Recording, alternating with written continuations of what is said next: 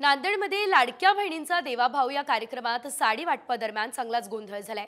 दोन हजार साड्यांचं वाटप केलं जाणार होतं पण महिलांची संख्या जास्त झाली आणि साड्या कमी पडल्या.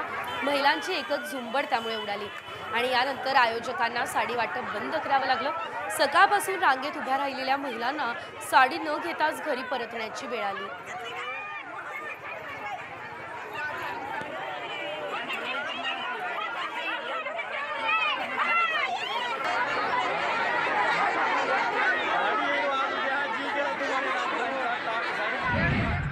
अंगदमध्ये आम्हाला इथं बोलवलं साड्या भेटायच्या साड्या वाटपसाठी.